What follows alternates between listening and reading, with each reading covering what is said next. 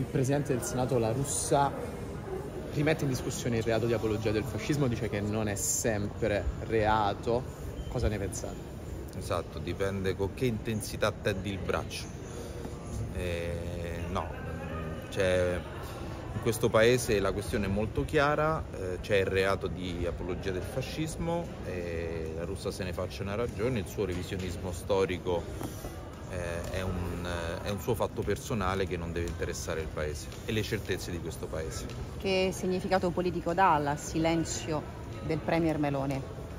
Che non ha il coraggio di prendere una posizione, cosa che alcuni del suo partito, a onor del vero, hanno avuto il coraggio di fare. Lei non ha avuto, e questo ne prendiamo atto, e ormai va preso atto perché sono passate molte ore, non ha avuto il coraggio di prendere una posizione netta e chiara su questa vicenda.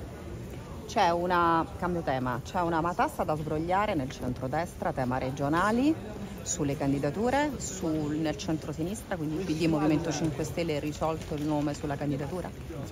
In Sardegna? Eh, noi in Sardegna sì, abbiamo risolto, eh, per noi Alessandra Todd e credo che e anche il centro-sinistra è stato molto chiaro e ha chiesto a Soru di non rimettere in discussione una certezza che si è venuta a creare tramite un processo territoriale sardo.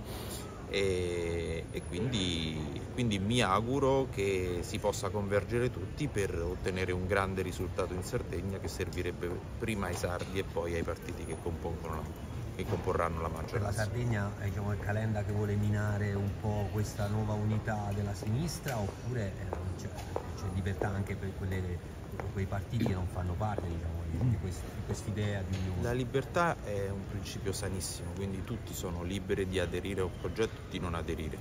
Questo il Movimento 5 Stelle lo dice quando ha, ha il candidato presidente come quando non ha il candidato presidente. Bisogna crederci in un progetto, non bisogna fare alleanze senza un eh, presupposto saldo perché poi se si vince bisogna governare. Quindi chiunque entra in una coalizione ci deve entrare convinto di far del bene al popolo che si vuole governare.